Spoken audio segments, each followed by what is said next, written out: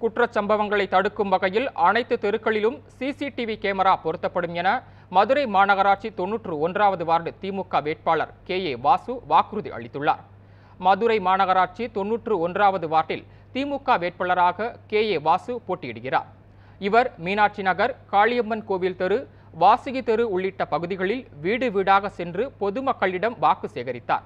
அப்போது தான் வெற்றி பெற்றால் தொன்னூற்று ஒன்றாவது வார்டு பகுதியில் குற்றச்சம்பவங்கள் நடக்காத வகையில் அனைத்து தெருக்களிலும் சிசிடிவி கேமரா பொருத்தப்படும் என்றும் அனைத்து அடிப்படை வசதிகளையும் செய்து தருவேன் எனவும் வாக்குறுதி அளித்தார்.